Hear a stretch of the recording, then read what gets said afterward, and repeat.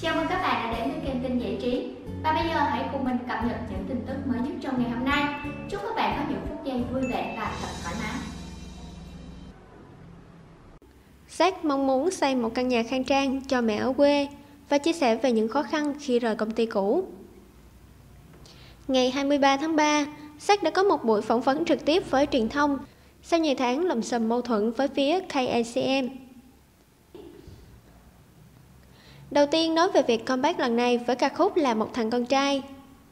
Jack chia sẻ, thứ nhất là để dành tặng bản thân, thứ hai là dành cho khán giả và những người yêu mến. Jack không xem đây là sự trở lại, mà làm mọi thứ vì cảm xúc của mình. Một lý do lớn nữa là Jack muốn mọi người bớt lo đi, Jack sợ mọi người buồn lắm. Được cho rằng trở lại và lột xác hoàn toàn từ phong cách lẫn ngoại hình. Jack chia sẻ, Bây giờ tôi không thể mang quần sọt hay áo thun sơ sài ra đường. Tôi chỉnh chu để mọi người dễ nhìn hơn, nhưng vẫn phải giữ sự thân thiện và gần gũi chứ không biến thành một người khác. Với sự thành công của nhiều bản hit Hồng Nhan, Bạc Phận, Sóng Gió và trở thành một ca sĩ nổi tiếng. Có lần xác được một bạn fan hỏi rằng anh nổi tiếng như vậy thì anh được gì? Khi ấy xác đã trả lời Anh không phải người nổi tiếng, anh chỉ được mọi người yêu thích thôi. Đó cũng là châm ngôn sống và tính cách không thay đổi theo thời gian của tôi. Hiện tại, sau này và mãi mãi vẫn như vậy.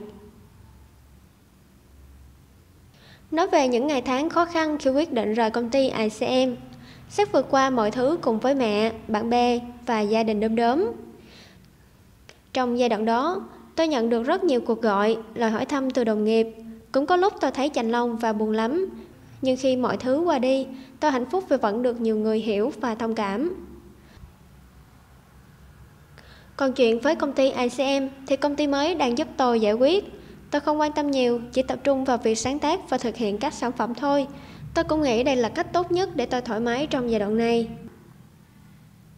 Khi được hỏi, xác là đặt hết niềm tin vào công ty quản lý, không sợ giảm lên vết xa độ của chính mình một lần nữa hay sao?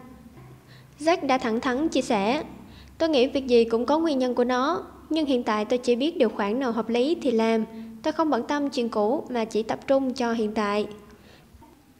Nếu sau này gặp lại KSM thì sẽ không có chuyện sân khấu này có sách thì sẽ không có KSM. Vì tôi luôn tôn trọng cộng sự cũ và hướng bản thân mình nghĩ mọi chuyện theo chiều hướng tích cực.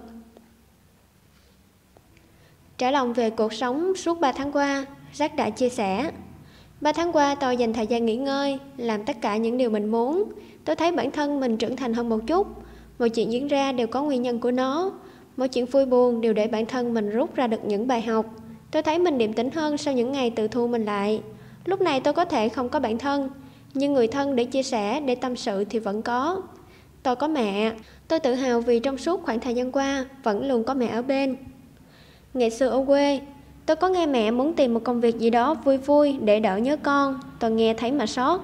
Tôi ráng làm và tích góp một phần tiền nhỏ để mở quán trà sữa cho mẹ. Mỗi ngày mẹ sẽ được gặp những bạn trẻ tuổi có tôi cho đỡ nhớ con, cũng đỡ phải suy nghĩ nhiều. Hiện tại Sách đã đón mẹ lên thành phố sống và chăm sóc.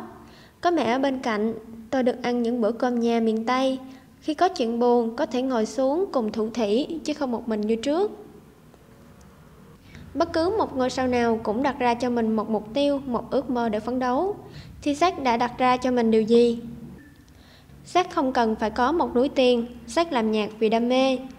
Tôi muốn đi đến tận cùng với âm nhạc, đi hết sức có thể, đến khi không hát được nữa thì thôi. Tôi mơ sẽ xây được cho mẹ một căn nhà khang trang ở quê, xong sẽ có một cái chòi nho nhỏ để làm nhạc, một khoảng vườn đủ rộng để trồng rau. Tôi chỉ cần những niềm hạnh phúc bình dị bên cha mẹ là được, chẳng cần gì quá cao siêu. Đó là những lời chia sẻ của Jack.